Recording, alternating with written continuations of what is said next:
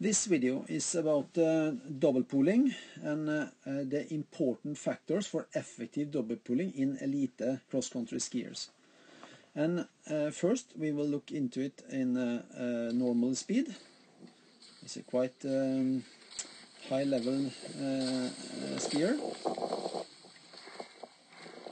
She's um, regularly competing in the World Cup. And then we can see it in slow motion.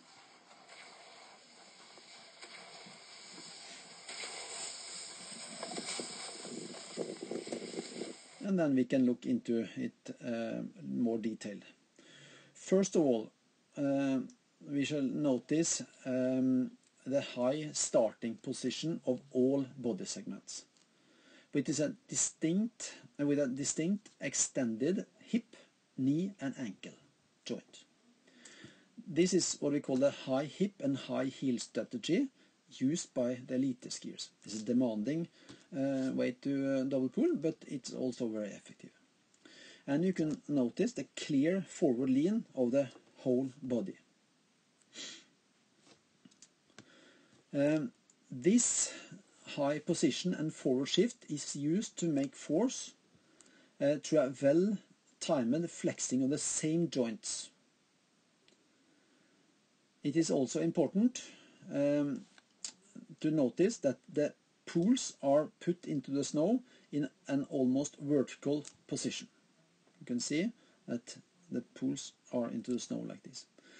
This seems not functional, but uh, it is an important prerequisite uh, requisite for the pre-activation of the important arm and trunk muscles in double poling. This pre-activation is done in the first phase of the pole plant uh, with an extended flexion pattern in the shoulder and elbow joint.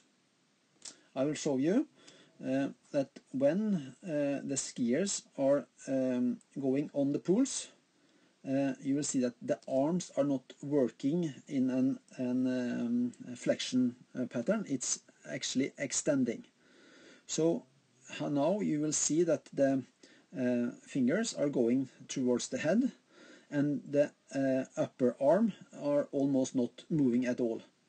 So it's like a prerequisite and pre-activation, you see, into this uh, compression or you're going with an eccentric part of it. This pre-activation is done in the first phase and it's an extension and then flexion pattern in these um, joints, shoulders and elbow. Um, the vital pre-activation um, and uh, uh, this stretch and shortening cycle is a prerequisite for a high angular extension velocity in the shoulder and uh, elbow joint.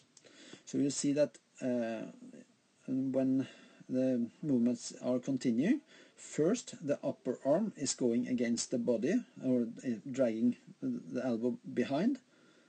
Uh, you see, the underarm is not moving, and in the next phase, the underarm will start to move. So first, the elbow goes to, uh, towards the body like this.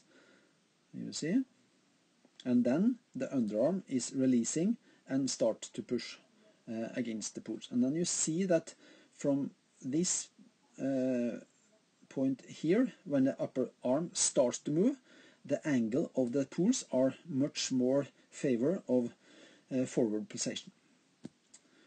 And you also see that uh, all the time the skier is in balance on her skis. She's not sitting down, uh, she's keeping her body on the skis and in balance in front and back in, in front of the this uh, line. Uh, the only criticism I have of this technique is that she's maybe going a little bit deep.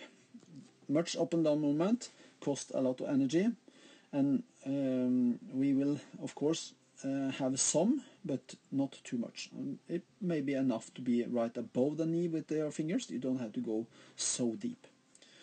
So this is important key factors of double poling and and it's also uh, important to know that um, the technique showed on this video is quite demanding and you need a lot of power and endurance to be able to do this. But still, the same principles can be done uh, for uh, recreational skiers also. The forward lean, how you use uh, the upper body and the arms um, uh, is the, the same, but not as um, extreme like we see on the skiers on the video.